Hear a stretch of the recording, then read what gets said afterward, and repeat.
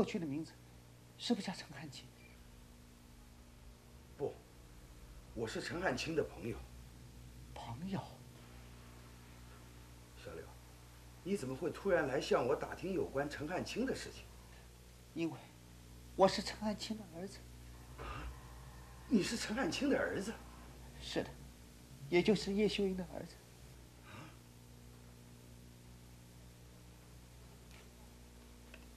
您是不是就陈汉卿？也就是我爸爸？小刘，你不要激动。不，请您告诉我，请您快告诉我。我会告诉你，我会详详细细的告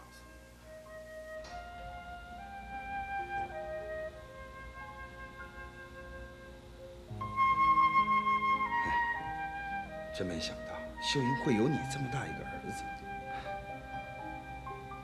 回想二十一二年前，当我第一眼见到秀英的时候，就被她那股清纯独特的气质所吸引。来，我们先坐下来再说。嗯。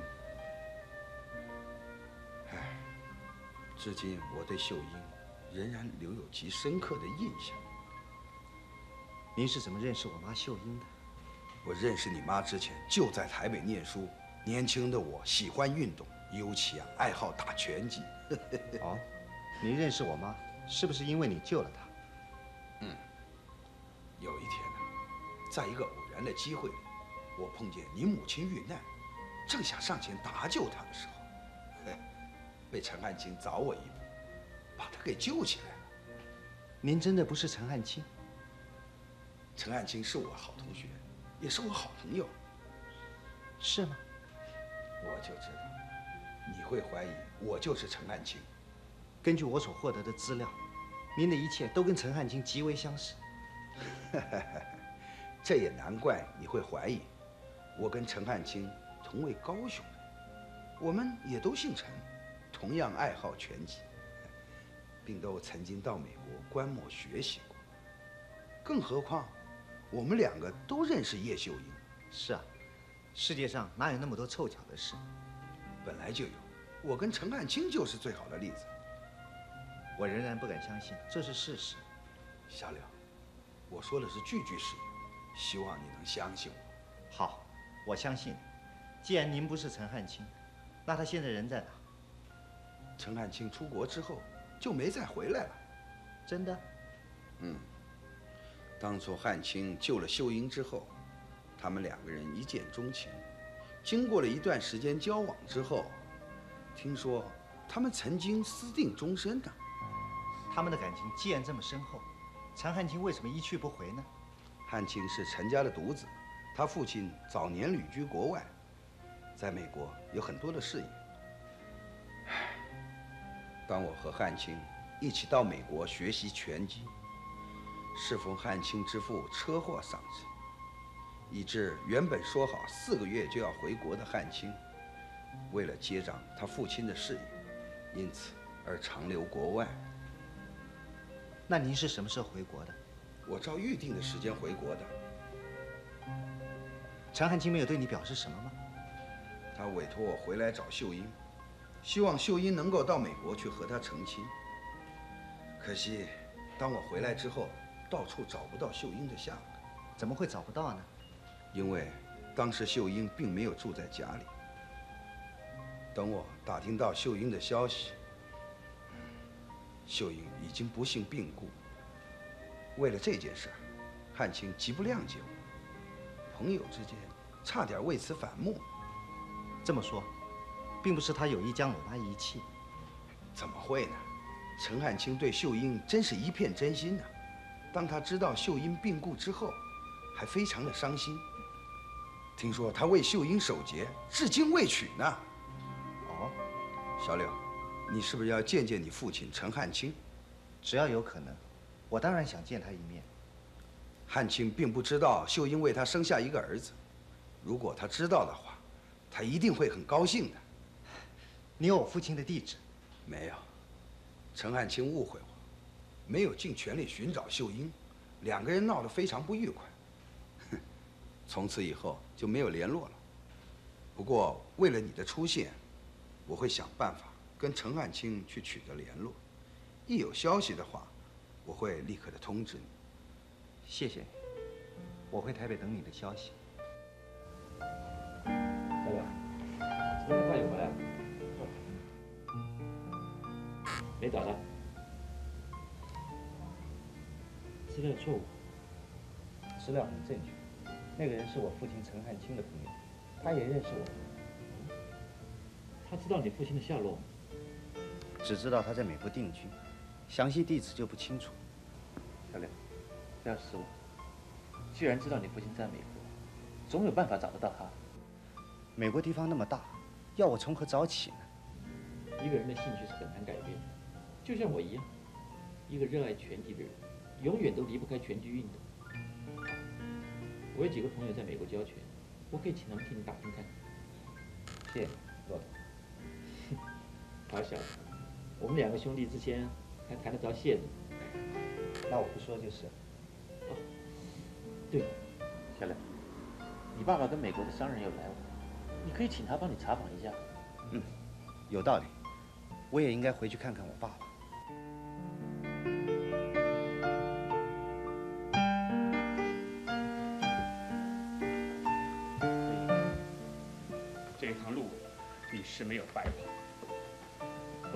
到了线索不说，你让我对陈汉卿的印象改变了。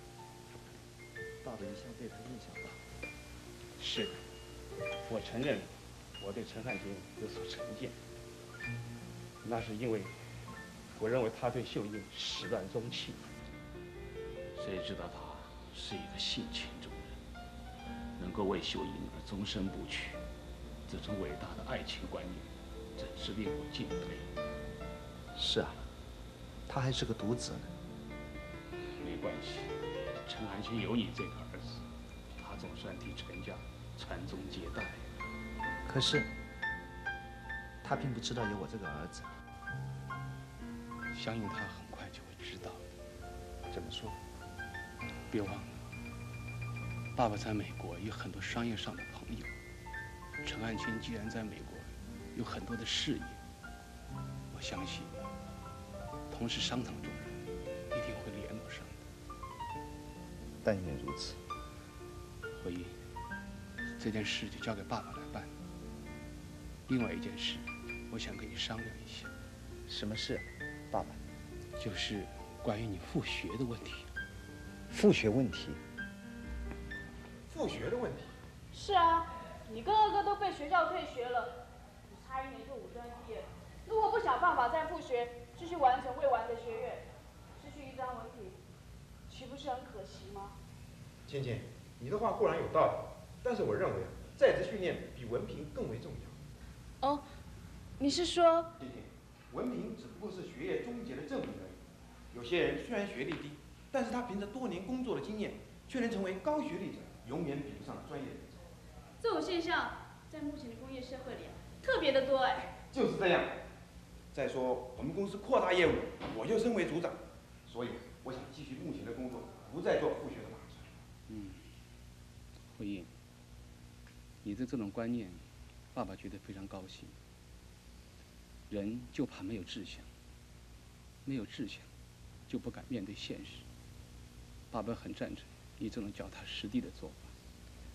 爸也同意我不再复学，接受现实社会的磨练。是的，文凭对人，并不是挺重要的。唉，像华龙，混到大学毕业了，他又能怎么样？爸，大哥已经改变很多了。华龙虽有改变，可是他的稳定性不够。你要知道，真金是从烈火中锻炼出来的。华龙从小就被你妈妈给惯坏了。我对他不敢寄予厚望。爸，您放心，大哥经过这次教训之后，相信他一定会彻底的醒悟的。我也希望华龙能洗心革面，重新做人。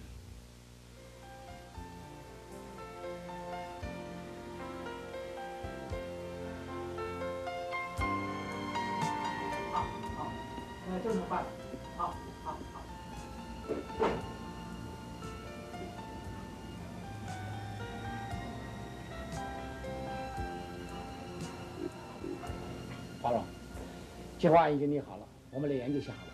好的。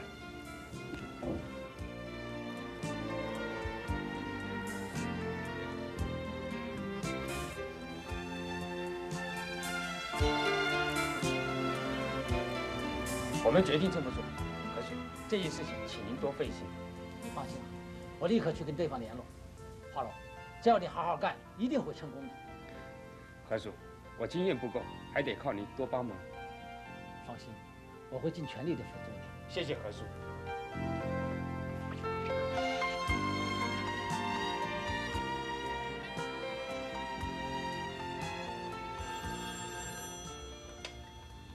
柳氏关系企业。我是，啊，美军。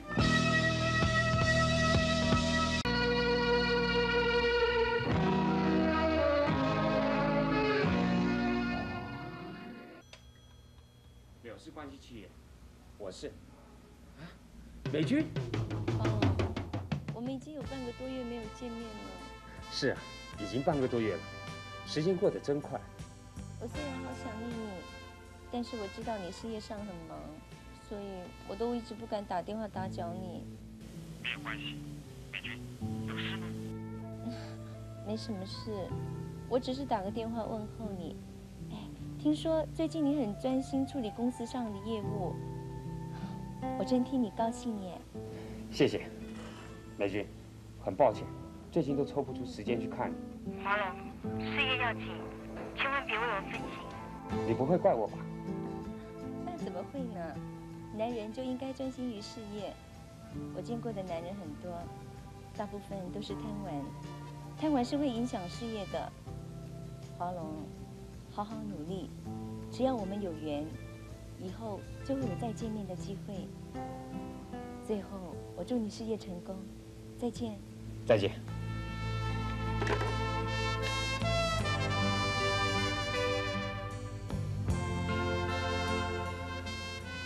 哈喽，哈喽，啊，何叔，哈喽，我已经跟对方联络过了，他们也很赞成我们这个计划，我相信这个计划一定会成功的。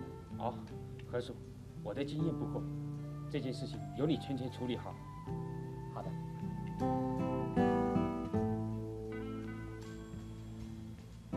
阿龙，你是不是业务上有困难？没有，如果我有困难的话，我一定会找何叔研究的。那我就去办事了。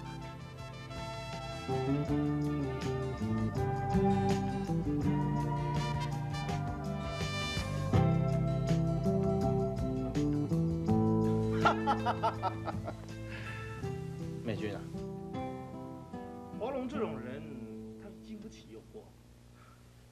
我跟他朋友多年，极为了解他的个性。当他接到你的电话之后，一定定不下心来。是的。自从华龙为了要调查杨美伦的家庭背景，第一次要来找我帮忙的时候，我就开始注意到他了。郑经理，我早就告诉过你，柳华龙在富裕的环境里头长大，他从小就被纵容惯，所以啊，养成他浮华不实的个性。是的，华龙这个人呐、只要随便逗他一下，他的心就痒了。只要他心一动，我们就可以进行下一个步骤的计划。诶，美君，你怎么了？曾经理，我们已经从华龙身上捞了一笔，应该可以放他一马了。放他一马？哎，郑经理啊，我看美君啊，八成是对华龙动了真情哦。哼，像这种婆娘啊，还会动真感情才怪呢。不错，我的感情是早已经死了，只是我觉得华龙他对我还不坏，所以我才不忍心看他走上绝路。笑话，又不是我们逼他，是他自己愿意上钩，怨不了别人。我觉得花龙很可怜，可怜？哼，美君，你该知道你是什么出身的。我把你当人看，你就是人。如果让我花火了，我不把你当人看，那种滋味你该知道的。是美君，美君，好好的照我的话去做，一定有很多你意想不到的好处，知道吗？嗯。好好的干起票，你就能脱离苦海。嗯。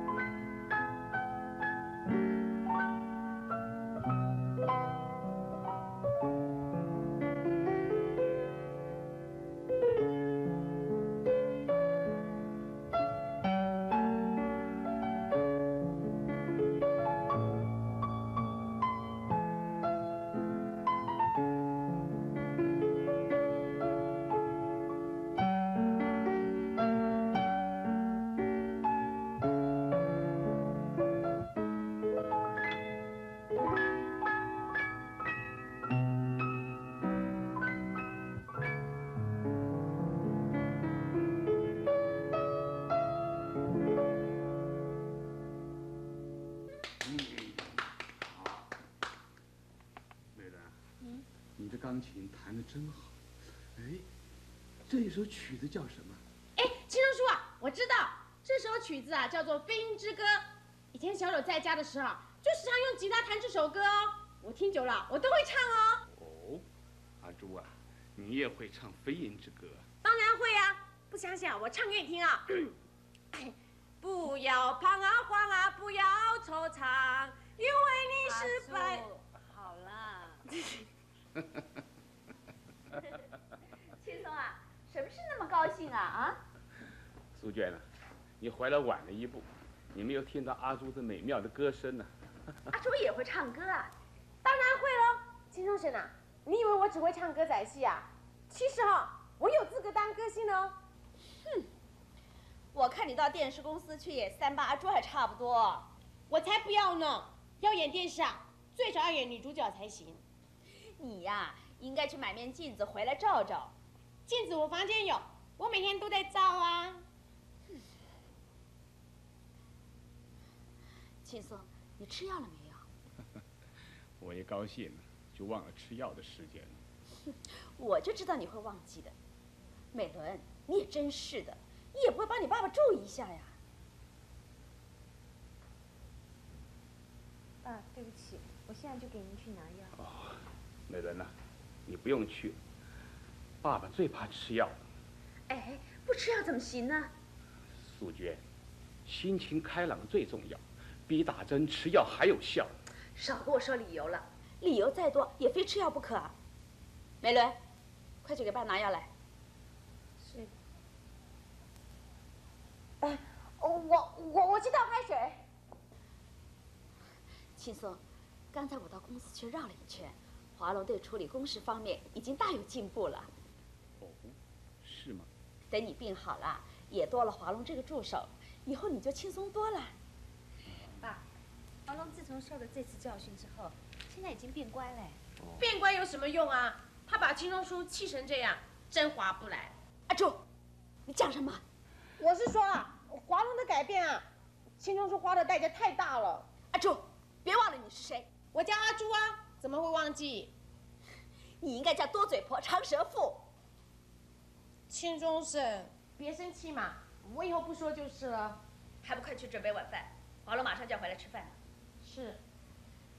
哦，阿朱。别忘了华龙最喜欢吃的糖醋排骨，你就光记得华龙喜欢的，你还啰嗦什么？哦，没没有，我是说晚饭马上好了。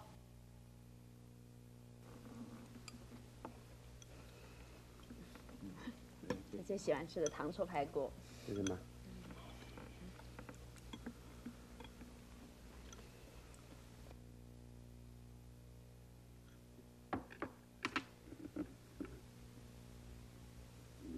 你怎么吃这么少啊？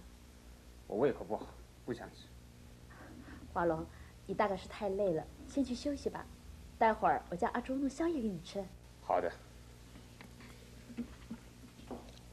哥，爸妈，哎，欣欣吃饭。我在外面已经吃过了。一定是跟庆华在外边吃的，对不对？嗯。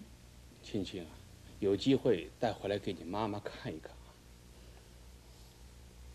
对，青青啊，你早就应该带庆华来拜会未来的丈母娘啦。青青啊，你的男朋友叫什么名字啊？邱庆华。小柳，别笑，再笑我都不好意思。这有什么不好意思的？人家说丈母娘看女婿是越看越有趣。不敢去啊。嘿嘿，有勇气追女朋友，反而不敢去见丈母娘。哈哈。孬种，我不是孬种啊，因为我连累你被学校退学，我去了，被你妈骂的狗血淋头才怪。哎呀，事情都已经过去那么久了，我妈早就忘了，你怕什么呢？我还是有点担心的。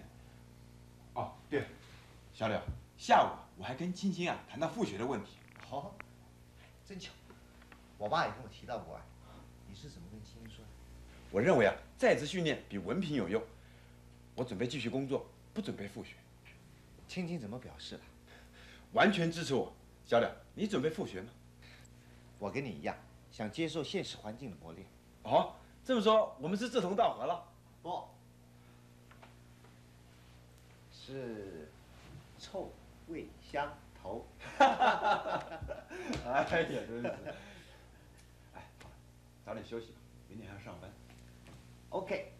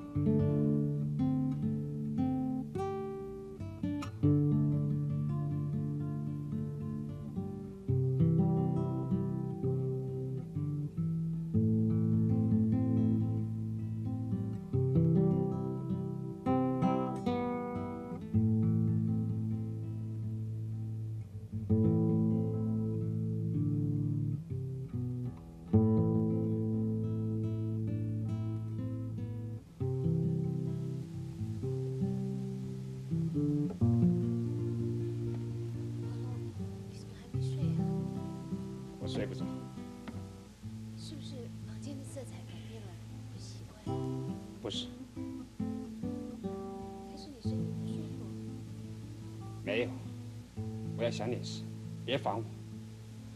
是不是公司业务上有困难？没有，华龙，如果有的话，可以请示爸爸。我知道，我知道。你能不能让我静一下？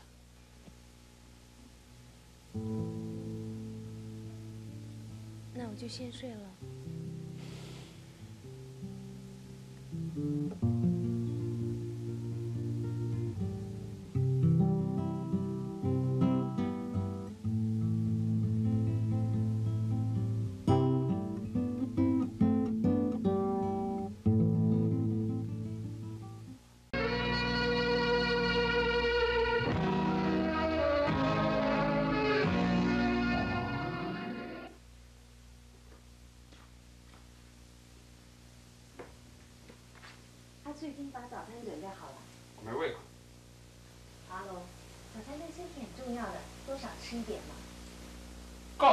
告诉你不吃，你听不懂吗？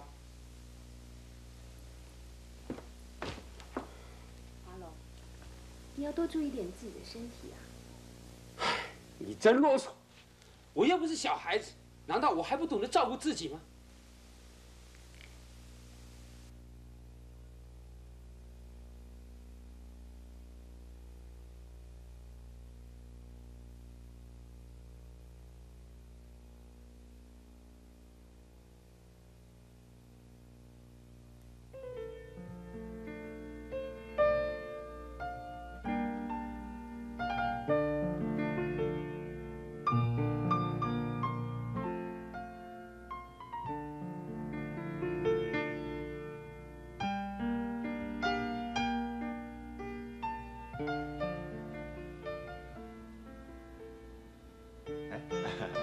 早，早啊，小柳，你今天恢复上班，来，我送你去。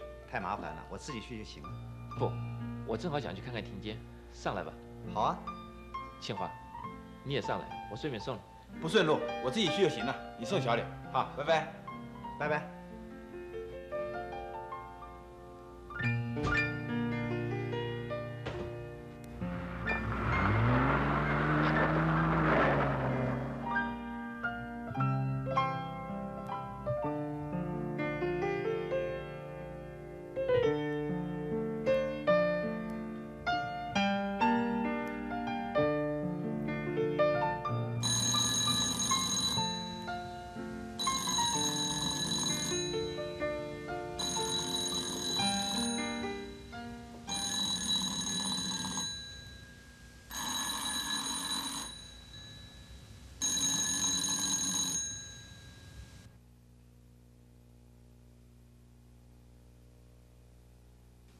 怪，电话怎么没人接？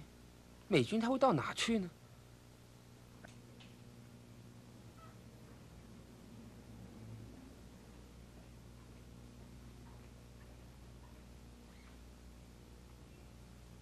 阿龙，你怎么了？我看你脸色有点不对。没什么，何叔，我想出去见个朋友，公司请您照顾一下。哦，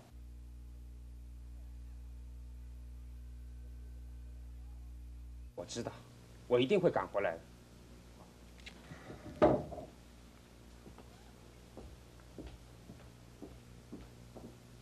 花龙虽然是变好了，可是我总觉得他不够稳定。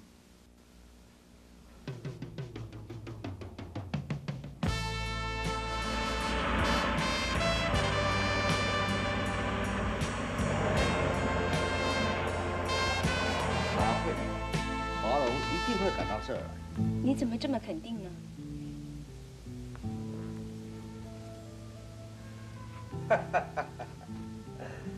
我摸透了华龙的心，如果他没有办法和你用电话联络，他会沉不住气，赶来这里一看究竟。那如果华龙不来呢？不来，我另有办法。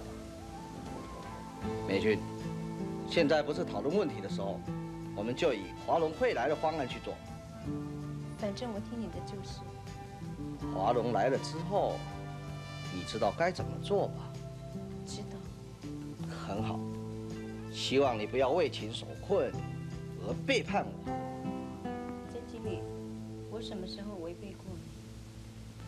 过去没有，但愿以后也不要发生，否则后果你是承担不起的。就算我有天大的胆子，也不敢违背你。希望你能永远记住这句话。时间也差不多了，我该走了，免得被华龙碰上，会破坏我们的计划。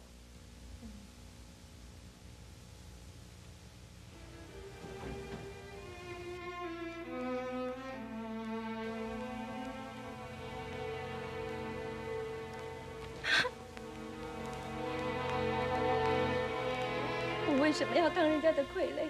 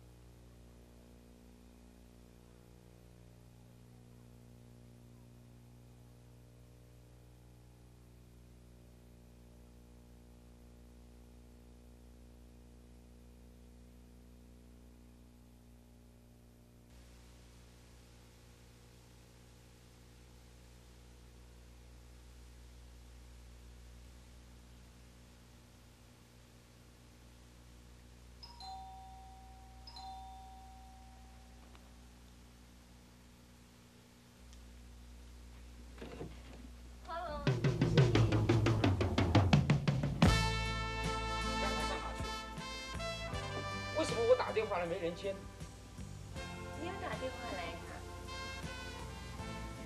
可能我是去买你最喜欢的玫瑰花去了。哦，你知道我会来？既然你不知道我要来，为什么要去买花？这半个多月来，我每天为你准备鲜艳的红玫瑰，花谢了就换，换了又谢。今天总算你来了，我的功夫并没有白费。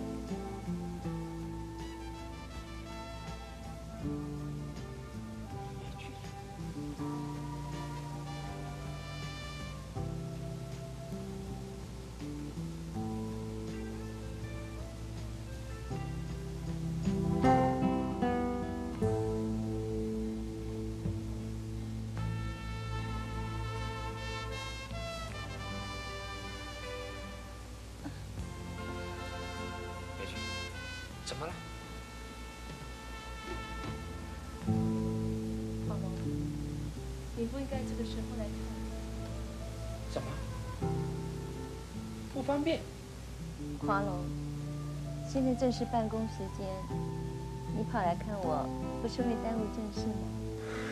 看你比办正事还重要。听你这句话，真是我又高兴又生气。怎么说？高兴的是，我在你心目中还占有些许分量，也为你耽误正事而生气。没想到你的理由还蛮多的。华龙，如果你要来看我，也应该利用空闲时间呢。我才懒得管那么多呢。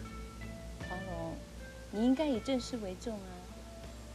来看你，也是正事。不，华龙，我要你现在回公司去，我不走。等下了班之后你再来。我等不起。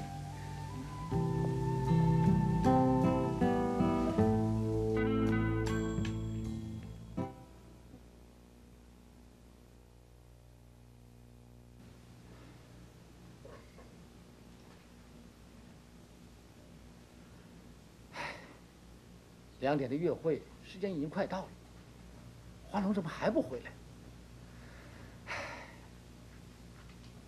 哎，花龙会不会趁着中午的时间回家休息去了？哎美伦呐，嗯，我告诉你啊，假如让我当上歌星啊，我一定有把握一曲就红哎。现在我每天都在练歌哦。真的。哎，就像这样。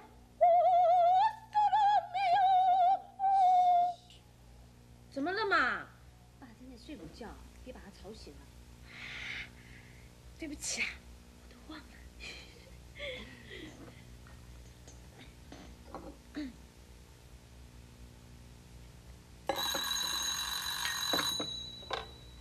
喂，呃，请问找哪位？柳文馆吗？呃，请问华龙有没有回来？华龙在公司啊。请问您是哪位啊？啊，美伦啊，我是何景昌啊。哦，何叔叔啊，华龙没有去公司吗？来过，他有事出去了，还没回来。我有重要的事情正在找他呢。哦，那要不要找爸爸来接电话呢？不用了，我别地方再找找看。好，再见了。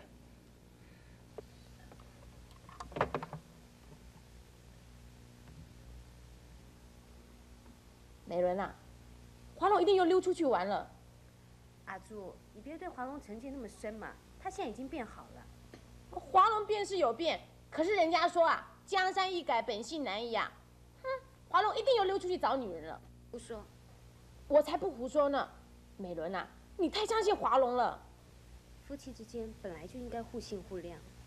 哎呀，美伦呐，我比你早到柳家来哎，我对华龙个性啊太清楚了。他以前交女朋友一个换过一个哎，哎，总共哈，总共总共换过多少啊？哎呀，我都算不清楚了。以前跟现在不一样，差不多啦。不相信啊？他回来你问看看。好了好了，别再胡说了。好吧，既然你不喜欢听了，那我就不说了嘛。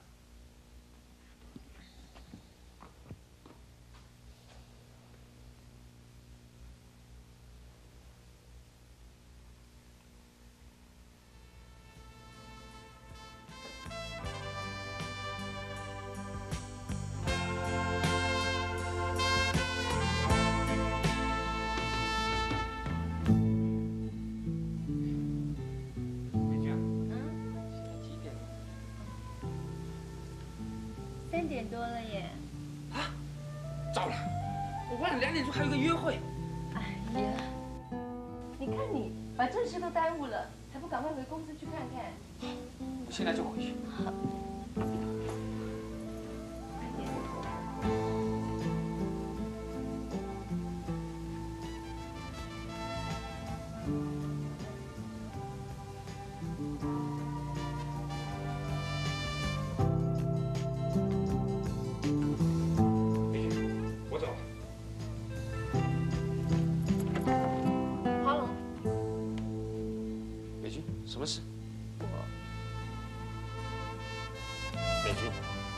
什么困难？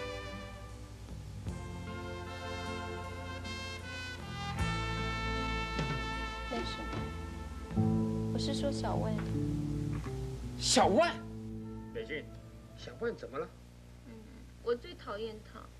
哼，像小万这种人，最好少跟他接近。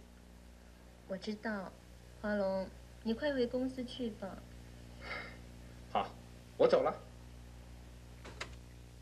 好，好，美军这出戏演得太成功了。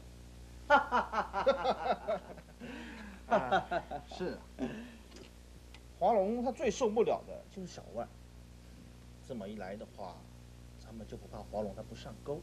当然，华龙已经一步一步投入我所张开的罗网，他再也逃不出我的手掌心了。华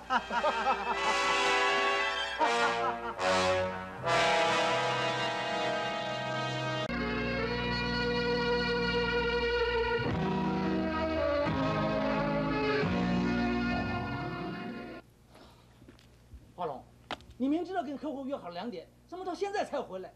你也太没有时间观念了。对不起，我有事赶不回来，由你跟他们接洽，还不是一样吗？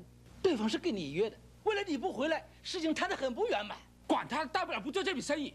华龙，这不是生意做不做的问题，而是一个人的观念问题。信誉对于一个人太重要，尤其商场的信诺更为重要。你爸爸能有今天的成就，完全是靠信用起家的。好了，何叔，算我不对，以后我多注意就是了。哼以后如果你再这样没有时间观念，我就告诉你爸爸。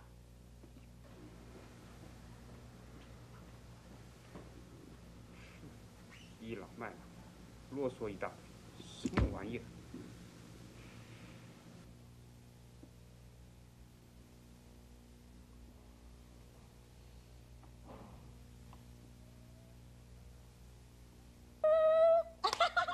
好了，你看，过去玩跳棋啊，每次都我最输，今晚可让我赢了吧？好棒啊！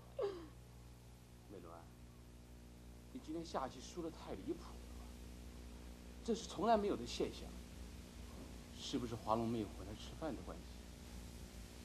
不是，哎，那你怎么会输棋呢？哎呀，轻松输啊！我知道了，美伦是因为笑我。不要叫嘛，让我把话讲完嘛。少讲话，快去看看绿豆汤好了没有？哦，哦，好，我去看看。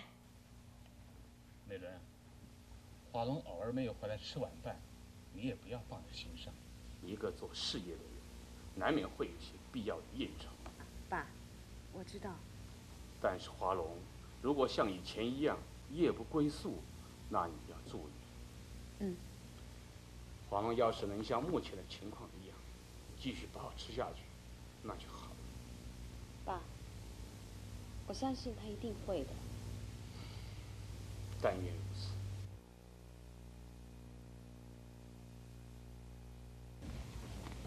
华龙，你来看。华龙，你过来，爸爸有话问。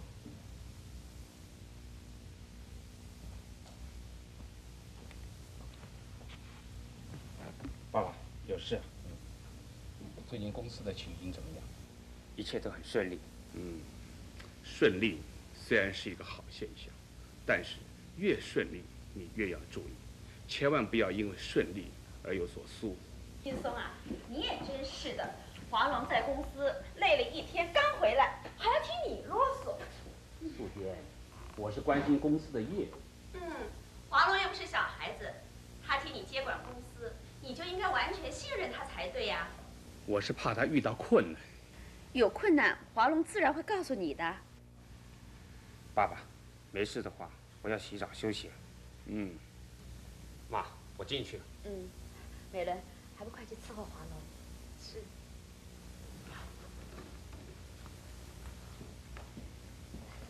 青松，你看我们的华龙现在变得有多乖呀、但愿他不要固态复发。你就是这样不信任华龙，皇上才不会变坏呢。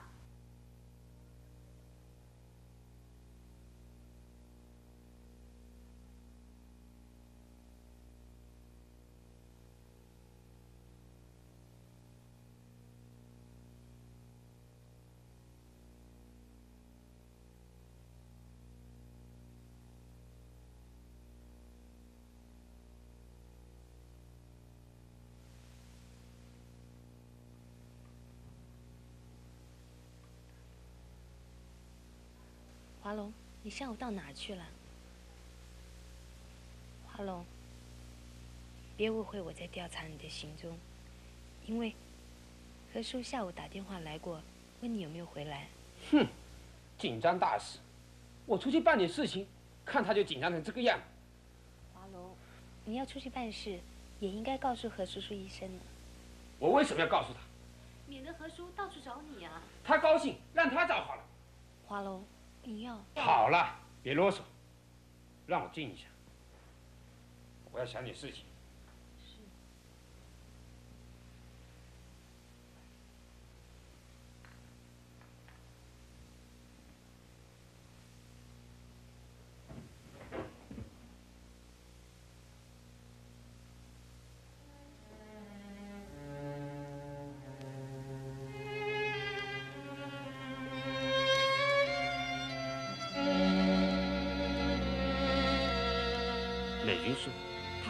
小关，这话到底是什么意思？我的意思啊，就是说一个人的感情必须要有所寄托才行。小柳，你不应该让丽丽到美国去的。丽丽要去美国，我有什么办法？小柳，我相信你只要开口说句话，丽丽一定会留下来的。我的话真的这么有效？当然，丽丽不但对你死心塌地，而且言听计从。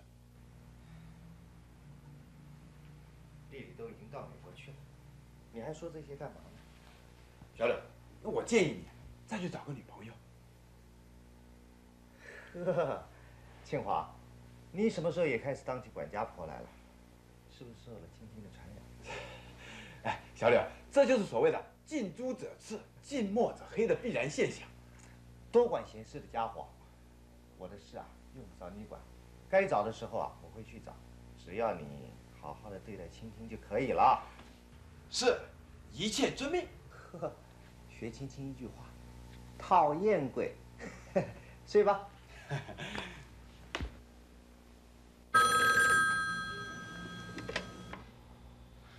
柳氏关系企业，华龙啊，近来好吗？找我有什么事？想告诉你一些有关美军的事儿。美军？是啊，恐怕你还不知道美军要订婚了吧？哦，那我应该恭喜他。恭喜是应该恭喜啊，只是我对美军的另一半呢不太满意。怎么说？华龙啊，恐怕你还不知道后天要跟美军订婚的人是谁吧？不清楚。就是万叶星小万。什么？小万要跟美军订婚？是啊，这种事情我不得不告诉你一声，免得到时候说我没有通知你。谢谢你，华龙啊，像小万这种朋友啊，我一点都不欣赏他。到时候要不要参加他们的订婚典礼，由你自己决定。再见。哼，我一定要去找美军问个清楚。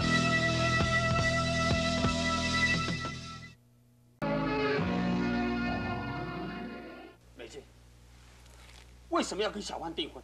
你说。好了，请你原谅我，我也是不得已的。美君，不是我故意阻止你追寻幸福，你想跟谁结婚，我都不反对，就是不能让你嫁给小万。华龙，我何尝愿意嫁给小万？既然你不愿意，为什么还跟他订婚？因为我已经把人输给他了。什么？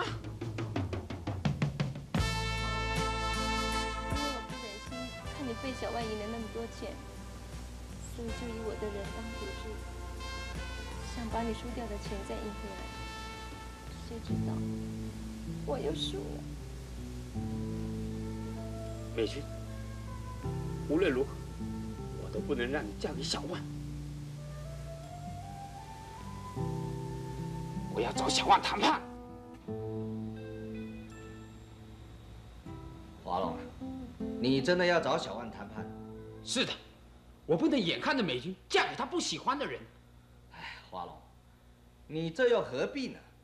你已经是一个有家室的人了，你跟美军根本不可能有结果，何不趁早让他找个归宿呢？美军嫁给谁，我都不反对，就是不能嫁给小万。我要你替我把小万找出来。这什么？你不肯帮忙？你的事儿就是等于我的事儿一样，只是这两天小万正忙着准备着订婚典礼，恐怕很难找到小万。不管怎样，你一定要帮我把小万给找出来。好，我尽量帮你联络看看。哦，你要我把美军还给你？不错。笑话，美军已经是我的人了，凭什么要还给你？美军，你给我过来。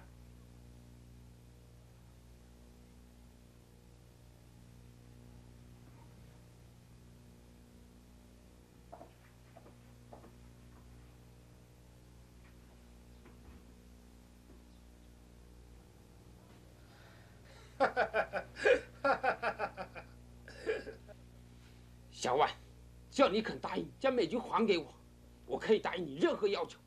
你想用钱买通我？钱我比你的还多，不稀罕。除非，除非怎样？除非你有本事再把美军赢回去。好，我一定要把美军赢回来。